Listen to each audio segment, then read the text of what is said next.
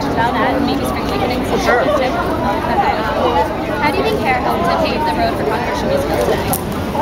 Uh, well, I think it just um, it allowed people on stage to be a lot more free than they had in the past. There were certain stereotypes about what musical theater was before this, and I mean, I mean, of course, people get naked on stage, but beyond that, it's just rock music on stage. They feel so, yeah, really groundbreaking. Um, do you think the show has impacted the pelvic activism? Yeah, I think it does a lot. Yeah, with this show, in particular, this revival, you know, when it first came out, there was a lot of um, uh, we did a lot of work with the, with equality, um, gay rights, and things like that, and still, still do that. So yeah, this I think people leave this show feeling they want to make a difference. Um, has it impacted you personally or influenced you in any way?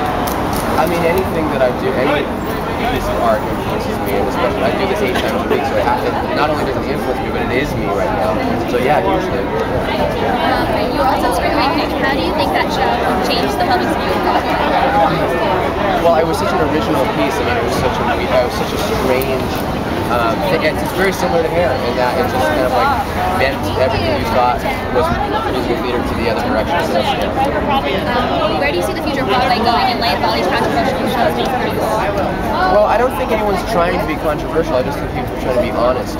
So to me, it's uh, controversy is an after effect of honesty. I think controversy is caused by people watching something, not by the people writing it. I think as long as people can be honest, you know, maybe it'll be controversial. Maybe it won't. Isn't it cool? Cool. Awesome. Thanks. Can I grab another picture with you? My eyes were closed. Yeah, of course. Yeah, yeah.